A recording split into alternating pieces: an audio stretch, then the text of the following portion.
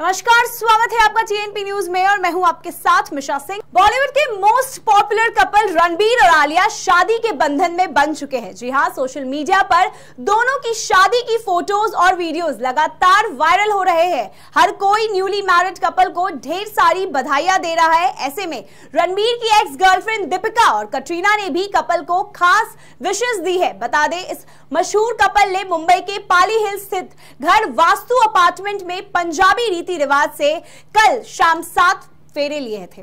देश और विदेश की तमाम खबरें देखने के लिए बने रहिए जेएनपी न्यूज़ के साथ और हमारे चैनल को लाइक कमेंट सब्सक्राइब ज़रूर करें और ताज़ा अपडेट्स के लिए डब्ल्यू पर जाएँ।